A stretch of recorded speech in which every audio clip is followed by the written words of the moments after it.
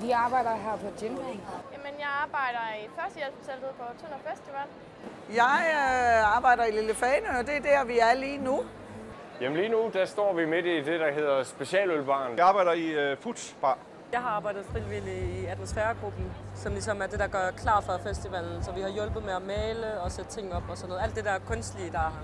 Jeg har arbejdet i mormors køkken, hvor øh, jeg har både den en af de første dage lavet alt mad, men ellers så har jeg været ved kassen. Jeg arbejder herinde i Lille Fanøbar. Vi står ved Bernadotte Bar.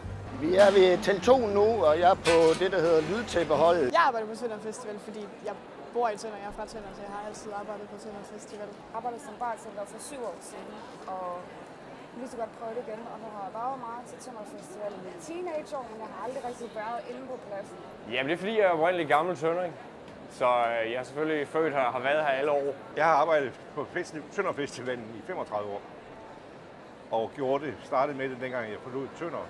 Og tænkte, det er en rigtig god måde at holde møde gamle venner på. Jeg arbejder her i Samaritteltet først fremmest, fordi jeg er sygeplejestuderende og synes, at det er rigtig spændende. Og så øh, er jeg rigtig glad for Tønder Festival. Fordi jeg har nogle gode venner i Tønder, som har fået mig lukket mig med på festivalen som frivillig. Jeg bor ellers i Odense. Jeg har valgt at arbejde frivilligt, fordi jeg har gjort det siden jeg har været 14-15 år, må det have været. Så. Og det har altid været en fed oplevelse for mig og sådan noget. Jeg har også arbejdet forskellige steder på pladsen. Og så, ja, jeg synes bare, det er en mega hyggelig stemning, og så har vi også en medarbejderbar, og alt det der, det spiller bare. Det er egentlig min søster, der har fået mig til at arbejde her. Øhm, endte med, at det var hele min familie, der lige kom ind i mormors køkken og var frivillig. For jeg arbejder her, det er fordi, det er det bedste, det er den bedste festival. Det er smadret sjovt. Der er super god stemning hernede. Jeg kommer selv fra byen af. Jeg var med som frivillig første gang sidste år, og er bare blevet bidt af det.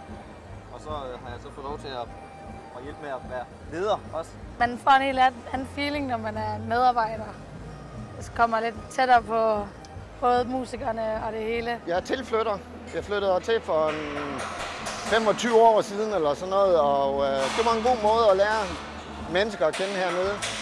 Man skal have 18 timer for at have et medarbejderarmbånd, så vi har tre dragter af 6 timer. Der er mange glade mennesker. Og også rigtig mange, der har brug for hjælp her og der. Vi har haft en del dehydreringer blandt andet, fordi det har været så varmt. Jeg startede øh, som almindelig medarbejder, og jeg er faktisk øh, blevet gået hen og har udviklet mig fra holdleder til B-leder og vikar leder i år. Det giver jo lidt opmærksomhed, kan man sige. Udover tøjet og sandet og sådan noget, så er det jo lige sådan, som det skal være. Er der, er der medarbejderfest?